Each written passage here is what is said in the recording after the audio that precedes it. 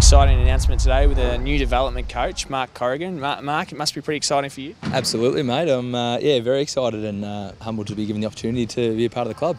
Can you take us through the process to get the role and why you decided that you wanted to join the club? Yep. So over the course of probably the last month, um, I had an interview with Matty Egan, Hayden Skipworth, and Mark Neeld and then uh, was fortunate enough to get through to the second round and had an interview um, with Neil Craig and Mark Neeld last week, um, and then received the good news um, just a couple of days ago that I've been offered the development coach role.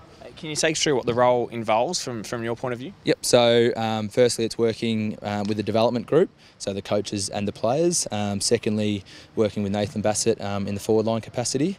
Um, and then thirdly, um, taking the forwards in the VFL game day it's a pretty important role with a fair few young forwards on our list at the moment. What do you know of the list and, and that group?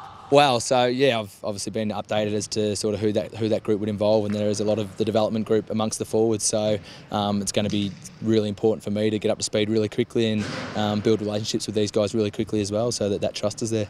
What's your background been in footy and outside of footy? Yep, so the last 18 months I've been um, a VFL line coach with the Geelong VFL side, um, and then prior to that I was a player on the Geelong VFL list, um, and then also doing a little bit of work um, with a kids fitness company um, in sort of um, kids education, fitness, and also a little footy specific stuff people might recognise your face a bit, or at least think they recognise your face, because you, your brother's actually uh, part of the development squad as well, uh, the development coaching lineup, I should say. Yeah, he is, and I'm hearing that we do look a little bit alike, which is a bit uh, a bit worrying considering he's six years older. But no, it's um, I'm really excited to be able to work alongside him. It's a first for both of us, but at the same time, I think um, it'll be a great opportunity.